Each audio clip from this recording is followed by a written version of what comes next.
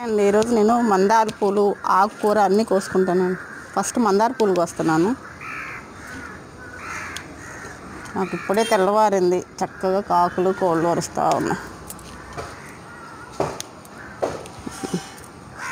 మనం కాకర చెట్టు తీసేసానండి. తీసినాక మందార పూలు బాగా వస్తున్నాయి. నాకు ఈ పువ్వు పేరు అయితే తెలియదండి. ఈ పూలు ఎప్పుడు పోస్తూ ఉంటాయి మొదట్లో తెల్లగన్నేరండి. ఇవి నిన్నటివి మొన్నటివి కూడా ఉన్నాయి అవి కానీ ఈ రోజు వరకు కోసుకున్నాం.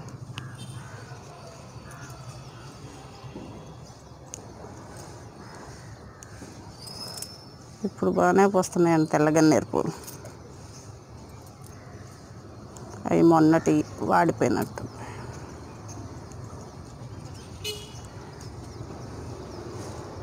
ఇవన్నీ అంతకుముందు పూలేను.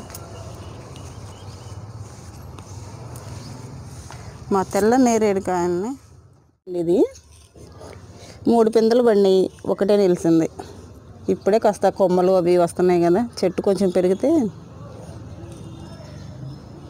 పింక్ కలర్లో వచ్చిందండి తెలుపు అంతా.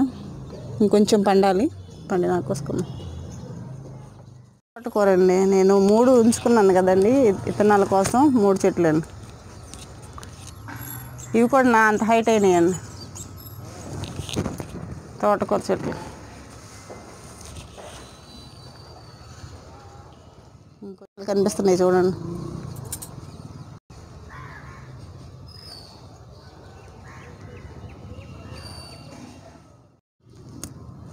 కొంచెం పప్పు వేసి వండుకున్నామంటే ఇద్దరికి సరిపోతుంది. చూడండి చిన్న కుండి నేనేం పెద్ద దాంట్లో వీళ్ళు ఊరిని రెండు నాలుగు విత్తనాలు వేసేసామంటే అవే వచ్చేస్తాయి. అక్కడ మల్లె చెట్టులో చూడండి ఎలా పెరిగిందో తోటకూర. ఒక్కటే చెట్టు తీసేస్తాను దాన్ని కూడా.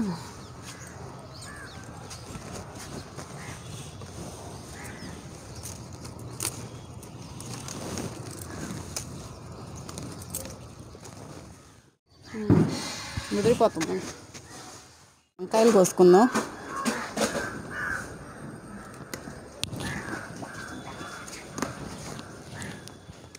వంకాయలు అయితే వారంలో నేను మూడు సార్లు కోసుకుంటున్నానండి. ఇక్కడ అంటే బాగా పెరగనివ్వట్లేదు. లేతగా ఉన్నప్పుడే కోసేస్తున్నాను.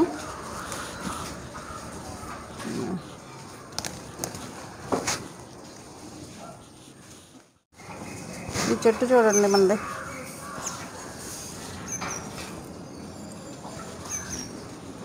ఈ ఒక్క చెట్టు కాయలే సరిపోయేటట్టు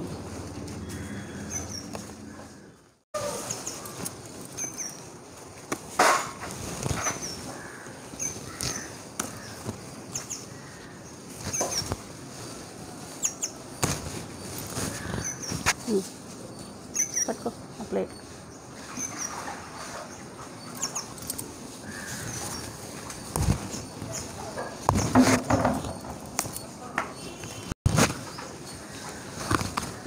వంకాయలు ఈరోజు మందార పూలు కోసానండి. తర్వాత ఈ పువ్వు పేరు తెలియదు నాకు.